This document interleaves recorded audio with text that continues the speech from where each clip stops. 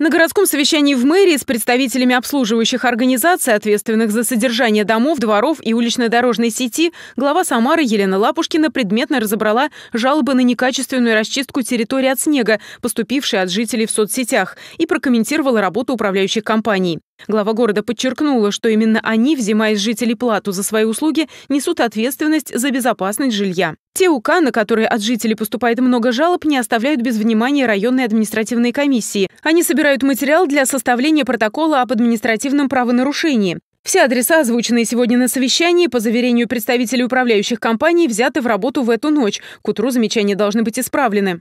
Кроме того, глава города особое внимание велела уделить расчистке скатных кровель, а также подъездам к социально значимым учреждениям, ковид-госпиталям, поликлиникам, детским садам и школам. Елена Лапушкина поручила главам районов лично проверять доступность этих объектов. Самое главное – выводить максимальное количество техники, максимальное количество людей, очищать территории. В первую очередь обращаем внимание на улично-дорожную сеть, где ходит общественный транспорт, где у нас э, передвигаются, конечно, пешеходы, тротуары. Это подходы к социальным объектам, это подходы к больницам, к школам, к детским садам, к другим учреждениям. Безусловно, особое внимание обращаем на очистку кровель. Очень быстро у нас нарастают сосульки на кровлях, и поэтому бригада у нас работает постоянно в каждой управляющей компании, в каждом ТСЖ. И, конечно, призываем всех владельцев учреждений, где есть скатный кровлик, тоже это не оставлять без внимания в обязательном порядке и, конечно, очищать. На совещании присутствовал и первый зам главы Самары Владимир Василенко. Он призвал всех причастных воспользоваться тем, что снег ненадолго прекратился, и усилить темпы работ. У нас передышка.